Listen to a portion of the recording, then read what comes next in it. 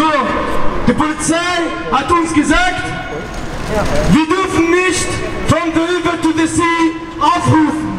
Aber wir sagen der, wir werden das machen.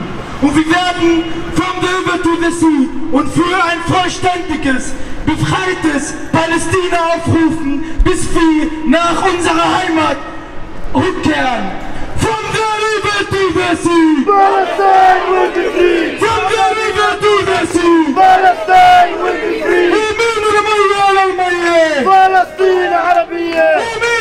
المية للمية فلسطين عربية! بايكوت إسرائيل! بايكوت إسرائيل! بايكوت إسرائيل! بايكوت إسرائيل!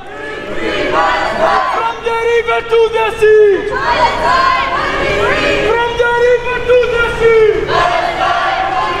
From the river to the sea!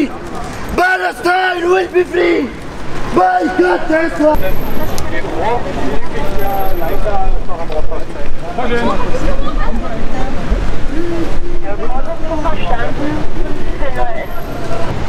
wir hatten ja heute eine Kundgebung äh, äh, israelkritischer Natur mit insgesamt äh, 40 Teilnehmenden in der Spitze. Die ist jetzt vor kurzem aufgelöst worden, weil es äh, diverse Auflagenverstöße gab.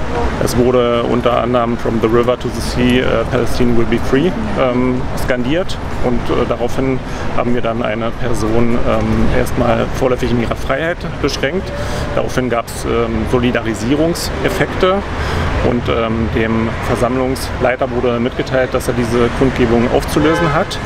Er hat gesagt, das wird er weitergeben, will dem nachkommen. Das hat er nicht geschafft. Letztendlich haben wir die Kundgebung dann aufgelöst und im Nachgang jetzt mindestens bei insgesamt fünf Personen die Personalien festgestellt.